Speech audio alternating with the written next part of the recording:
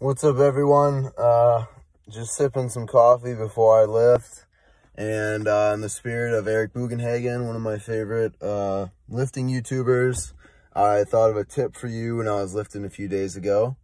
Um, so I guess this will be my first bro tip. Uh, hopefully many more to come. Um, but that is to warm up twice. Uh, especially like if you got a lot going on, just starting school. Um, sleep isn't where it needs to be. So basically, you know, you're rolling to the gym kind of stressed out sometimes. You still got, you know, you got stuff on your mind or whatever, and you're warming up for squats. usually work with me for squats. Um, but first time you warm up, you know, two plates doesn't feel super fast, and three plates doesn't feel like super light. Um, and often as a result of the squat work I want being taken, what I'll do is actually warm up to the one next to it. Um, so I'll get my first warm up there and then when the person finally leaves the squat rack I want, then I'll take it and re-warm up.